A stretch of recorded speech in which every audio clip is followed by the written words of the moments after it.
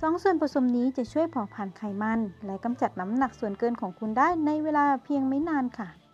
ก่อนที่เราจะเริ่มต้นคุณจะต้องปฏิบัติตามกฎของการดื่มเครื่องดื่มนี้อย่างเคร่งครัด ซึ่งหมายความว่าคุณจะต้องใส่ใจ และให้ความสำคัญกับมันจริง ๆ และถึงที่สำคัญมากๆ คุณต้องดื่มเครื่องดื่มนี้ในขณะท้องว่างเท่านั้นค่ะ เมื่อคุณรู้สึกว่าคุณได้พยายามทำทุกอย่างแล้ว แต่ก็ยังไม่สามารถกำจัดน้ำหนักส่วนเกินได้ วันนี้เราจะมาช่วยคุณ ด้วยสูตรเครื่องดื่มมหัศจรรย์นี้ ที่จะช่วยให้น้ำหนักคุณลดลง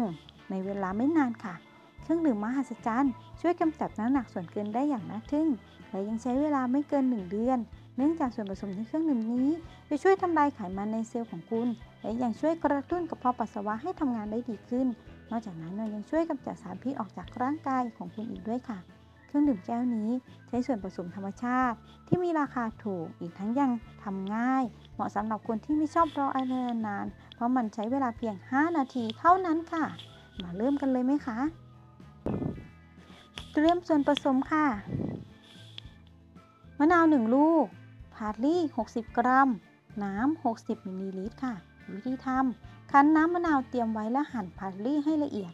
จากนั้นนำไปใส่ในในชามและเทน้ำตามลงไป เท่านี้ก็เสร็จเรียบร้อย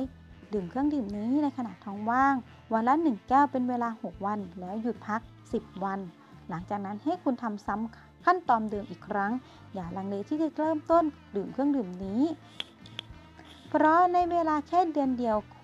คนที่เคยสวมใส่เสื้อผ้าไซส์ใหญ่ จะหายไปแล้วกลับมาเป็นคนใหม่ที่มีรูปร่างสวยงามค่ะ